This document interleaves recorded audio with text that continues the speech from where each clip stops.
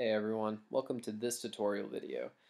This is our getting started with Tableau API lib tutorial video. So from the ground up here, just want to show you uh, what is the underlying target of everything we're doing with the REST API. Uh, that is to control either a Tableau server site or a Tableau online site. So just to kind of set the stage here, I'm looking at this developer site that I have. Uh, quick shout out to the Tableau developer program. If you want a free site to do some testing on, uh, go ahead and sign up and join this program. Um, you get a free site. You also get support from actual Tableau uh, developers to join their Slack channel. It's good stuff. So then back to our objective here. Uh, this is our kind of um, sandbox environment that we'll be hitting with the REST API. So in terms of getting started, uh, this video is going to keep it real simple we're really just going to establish a connection to this server and then in future videos we'll explore how we could use a connection like what we establish here to do more useful things. And if you want to establish a connection at all, first thing you're going to need to do is install the library that you're using to kind of drive your control over the REST API.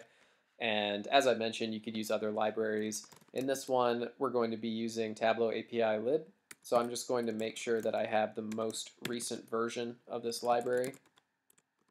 And what that dash u is going to do is if there's a more recent version of the library than what I have installed here, it's going to just make sure that that most recent version is the one that's being used.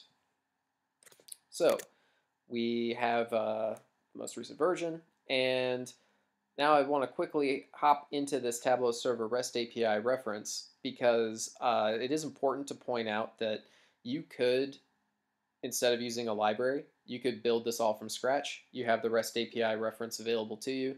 And since this getting started video is all about signing in to the server and establishing that connection, this REST API endpoint is of primary concern to this video.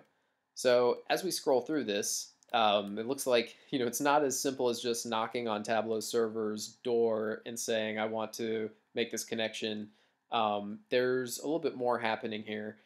Uh, what the REST API reference is going to tell you is this authentication, signing in, is based off a post request, and you would need to set up uh, your post request hitting this type of URL, something that looks like this, and uh, you would need to build a request body either packaging that in XML as seen here or packaging that in JSON format. And then you'd go through this whole song and dance of making sure you had the right information that you're passing into it. And finally, if everything went right, you would get a response code of 200 from the server and you would have a response.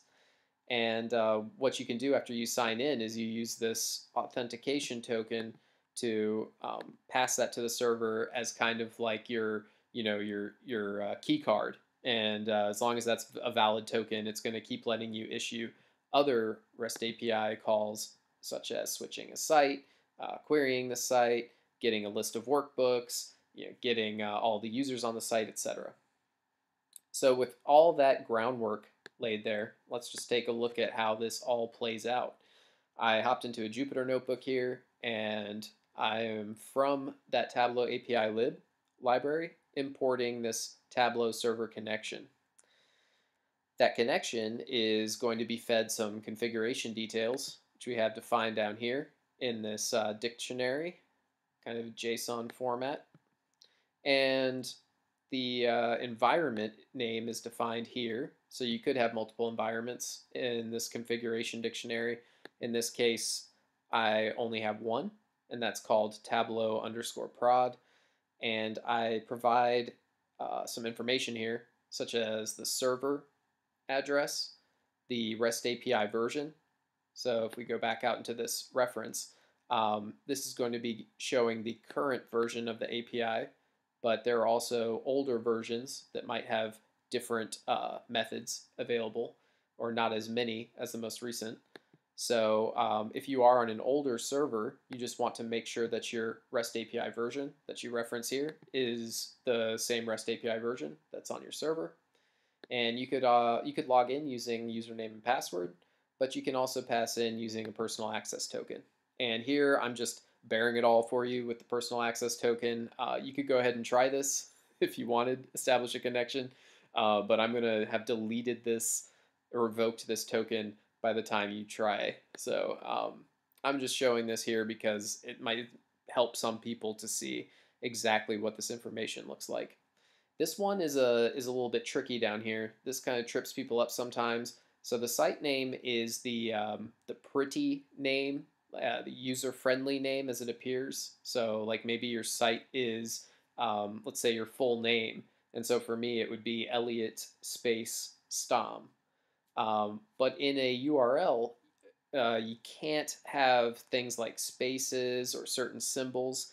So what Tableau's often going to do is it's going to have what they call a content URL. Sometimes it's called a site URL. So for this library, we just run with site URL.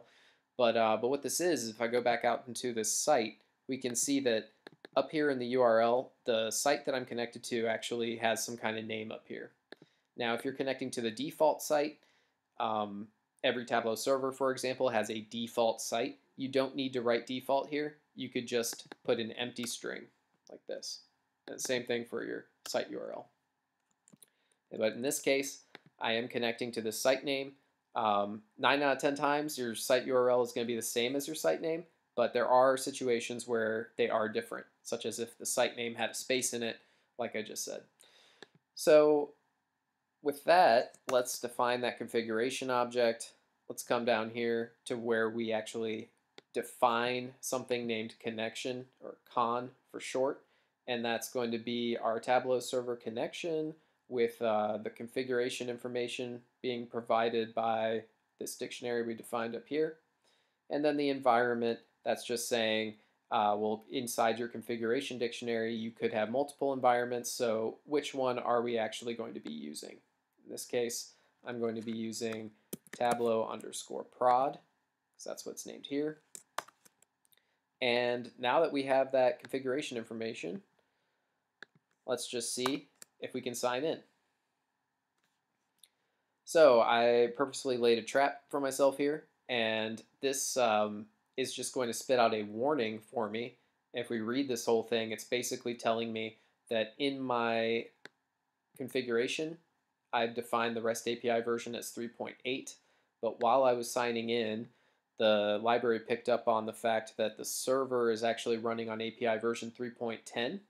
And so if I want the best experience and access to all the most recent methods that are available in the REST API, uh, then I should change my configuration to be 3.10 for the REST API. So let's run through all these commands again. This time when I sign in, we'll notice no warning. Um, we're using the correct REST API version. And uh, the response that we're going to get whenever we um, call this connection sign in is an actual uh, server response. And it gives us the response code of 200. And if we want to see the body of that response, we can look at that in JSON format and we can see that there is some information that the server returns to us. So again, what the library is going to do is it's going to take this token, and this token is just going to be uh, stored as part of this connection object so that as we issue uh, more and more REST API calls, as long as our session remains active, as long as this token is still valid, we'll, we won't need to authenticate again. Uh, so that really covers it for um, the logging in part. And some other commands I just wanted to show really quickly is now that we have a connection established, we could call other REST API methods. You might notice here server info, and what we used to sign in was called con.sign in.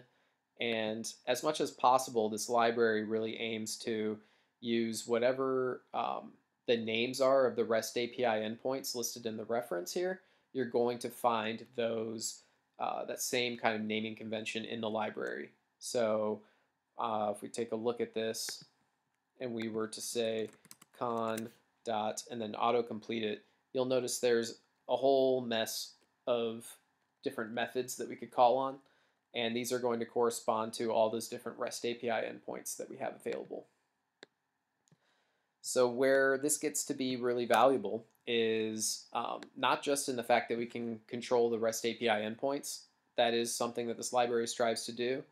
But if let's say that you you hit an endpoint, you get something like some of your data comes back from the server like this. For example, here we're querying projects and uh, we can see that, yeah, I get some information back, but it might not be the most usable uh, or in the most usable format so far. Like for example, it's not just my project's data. There's also this pagination. So if I had a thousand projects on my server, um, by default here, I would only be getting my top 100 when I called this, and then I'd have to do this whole pagination exercise to um, you know, make the same query and get all the rest of my project information. But um, something that this library comes with uh, batteries included, so to say, is uh, this querying section of the library. And this is just something I found really useful, and um, I think a lot of other people will find it useful as well. This is going to take uh, that JSON information up there that we would get from hitting the REST API endpoints directly, and it's just going to package that into a pandas data frame. And so you'll find once you have a connection established to Tableau server using Tableau API lib that getting information kind of like which projects do you have, what who are the users on your site, um, what groups exist on your site, what workbooks are there, what data sources. You can query these in a fashion kind of like this. And there are going to be more videos in the future that get into the details of this, but I just wanted to give that little taste of um, the library is not just here to help you get logged in, it's also here to give you some, take you that extra mile and kind of uh, reduce the complexity involved in taking that Tableau Server REST API data and giving it to you in a format that's um, really conducive for you getting your work done. So we don't want to leave that connection hanging. Um, so I figured I'd just show this as well. There is a sign out endpoint, and you'll just notice now that when you sign out, you get that 204 response. And it doesn't actually return any JSON. So when I when I try to call this JSON object, uh, there's nothing there. But I want to point out now, if we came up and we tried to query this information again, that uh, token is no longer valid. So we're going to get this uh, response from the server saying that we are unauthorized. So once again, once you sign into Tableau Server, um, you do get that token that puts a stamp of approval for future requests that you send using that token. But once you call the sign out method, that's going to invalidate that token, and you would need to sign in again if you wanted to um, do anything further with the REST API. So that's a wrap for this video, and thank you very much. Stay tuned for future ones.